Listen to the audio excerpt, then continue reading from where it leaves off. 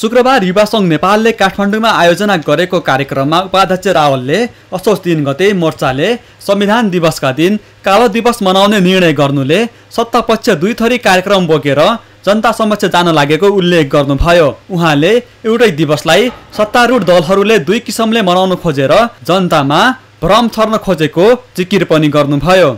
नयाँ सरकार गठन गर्ने क्रममा वर्तमान प्रधानमन्त्रीलाई प्रधानमन्त्री बनाउनु र भर्खरै निवर्तमान प्रधानमन्त्री हाम्रो पार्टीका अध्यक्षलाई प्रधानमन्त्रीबाट हटाउन एक पक्षले व्यवस्थापिका संसदमा आएर मतदान गर्यो। मतदान गरिसकेपछि नयाँ प्रधानमन्त्री पुष्पकमल दाहालजी हुनुभएकोमा खुसियाली मनायो।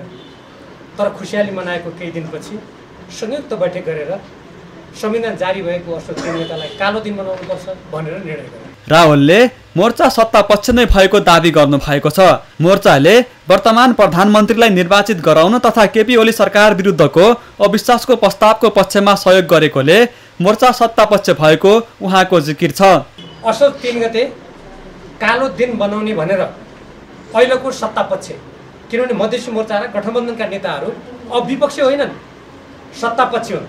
उनीहरू उहाँहरू सत्ता पक्ष हुनुभएकोमा हामीले बधाई दिइसकेका छौँ।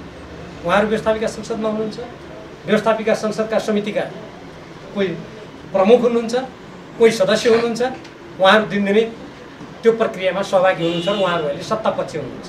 उपाध्यक्ष रावलले चैत महिनासम्म मात्रै सरकारको आयु निश्चित भइसकेकाले चैत महिनामा नै सरकार गठन र स्थानीय तहको निर्वाचन हुनेमा शङ्का व्यक्त गर्नुभयो।